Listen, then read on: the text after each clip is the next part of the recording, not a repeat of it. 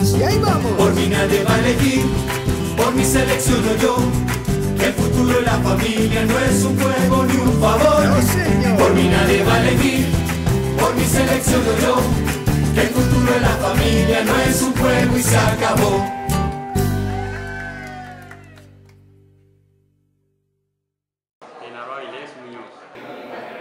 Pues mis propuestas siempre han sido es, más que propuesta, es como, como buscar una forma en que, en que a través de la federación eh, al gobierno pues como llevarles este mensaje es porque eh, yo aspirar aquí al comité municipal es como un puente entre la federación y los cafeteros.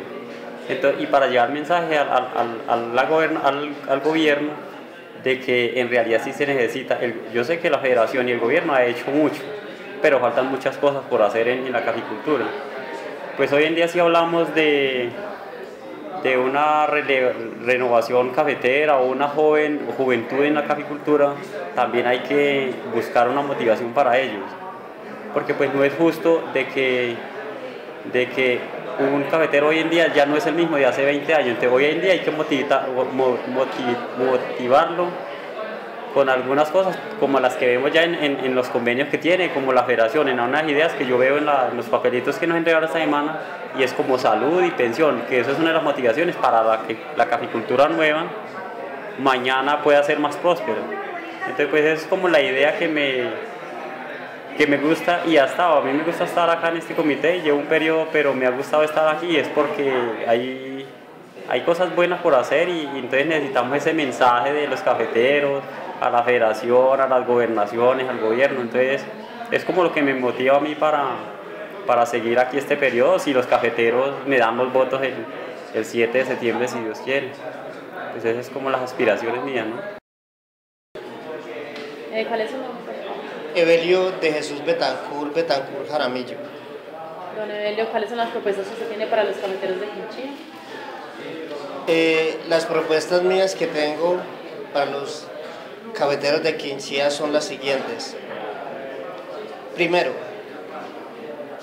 tratar de, de que el comité de cafeteros vuelva a las nuevas acciones que hacía antes. Por ejemplo, incentivar propiamente al cafetero en siembras de café que haya incentivo como se hacía antes.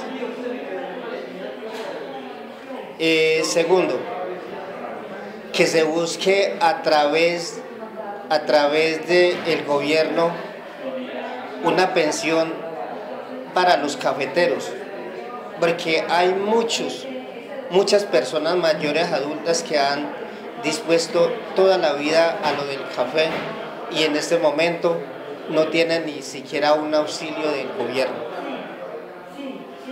¿Qué se buscaría? Que hubiera una pensión para ellos. Eh, también que los técnicos extensionistas estén más pendientes en las veredas de haciéndoles reuniones para que en ello estemos más informados los cafeteros de cuáles son los créditos, cuáles son los pasos a seguir y que los semilleros de café que se hacen aquí en el pueblo, que se hagan en las veredas, que no tengan que pagar tantos transportes, porque a dar a que le llega a uno al sitio donde lo vende, tiene que pagarle, en el transporte se le iría, casi le valdría el colino a 250 pesos. Mi nombre es Eduber de Jesús Suárez Ladino. Don Eduber, ¿cuáles son las propuestas que usted tiene para los cafeteros de Quinchía?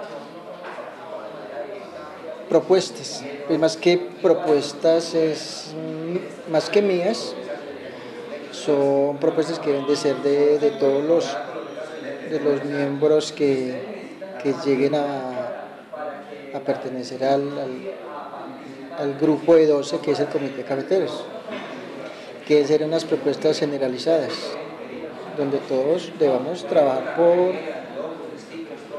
por todos los cafeteros del municipio. Y pues en lo personal me gustaría que todos pensáramos de, de, de igual forma, que no sean unas propuestas individuales ni personales, sino que sean unas propuestas de grupo, más dadas a eso. Como por ejemplo políticas de precios remunerativos,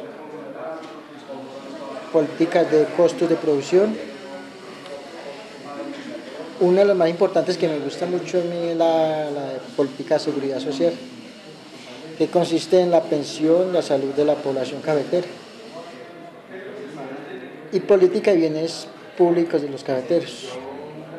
Y ahí vamos. Por mí nadie va a elegir, por mi selección yo. El futuro de la familia no es un juego ni un favor. por mí nadie va a elegir, por mi selección yo.